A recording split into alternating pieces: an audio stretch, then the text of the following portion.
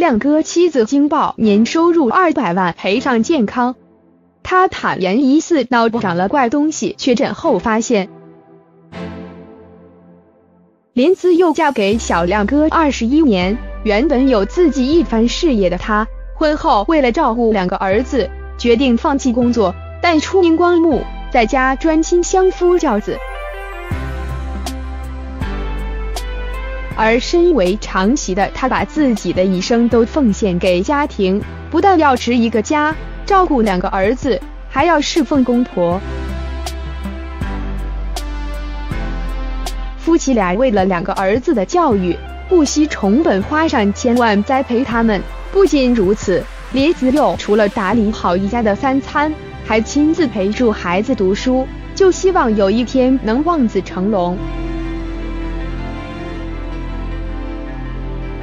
而两个儿子最后也不负众望，大儿子顺利考上乔治华盛顿大学攻读法商学院，复修国际关系；而小儿子则刚考上淡江大学资讯与图书馆学系，各自对未来都有助自己的想法。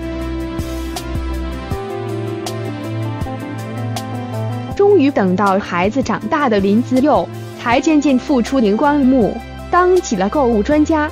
曾在短短四十分钟内缔造千万业绩，年收入高达二百万。但就在他打拼事业的同时，健康也渐渐出了问题。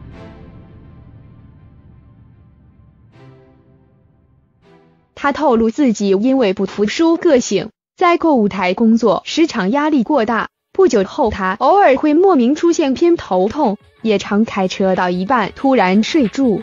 那时候常会瞬间眼皮张不开，停路边睡个五分钟、十分钟才醒过来，有点吓到。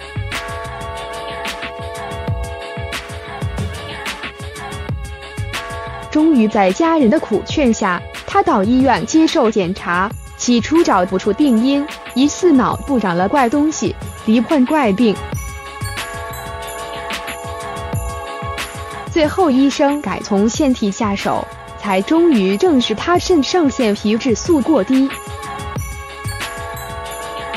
后来他服用类固醇治疗半年，竟出现嘴内冒血泡、全身皮肤溃烂等副作用，吓了他一大跳。不过显性的病情有稍微好转一些了。